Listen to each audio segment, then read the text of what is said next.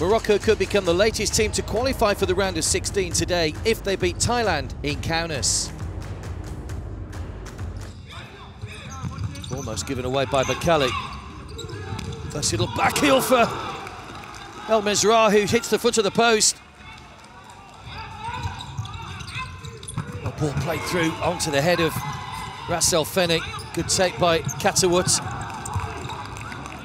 El Mesrar. Raiss El Fenni. Good save again, Katawut. Now there might be a break on here for Mohamed. Jirawat. Nicely done. Good save. Suphawut denied by Khiyari. Best move of the game from Thailand so far. Break on here for Jouad. Here's a great chance for Morocco. Saved. Second time of asking. Morocco have scored. Jouad denied the first time, but not the second.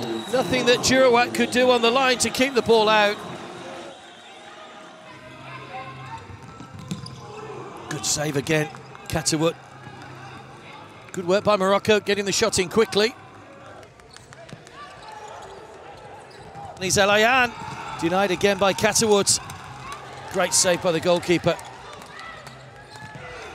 So it is Kritsada. Will he go for goal? He does go for goal. Khiyari makes the save. Kritsada, now El Ayyane. In on goal, El Ayyane. Denied again and hooked away by Nawin. Suphawut. Jirawat scores to level things up.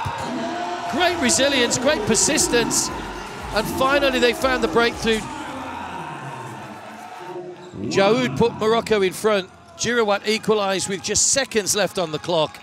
Full time in a dramatic game in Group C here in Kaunas. It's finished Thailand 1, Morocco 1.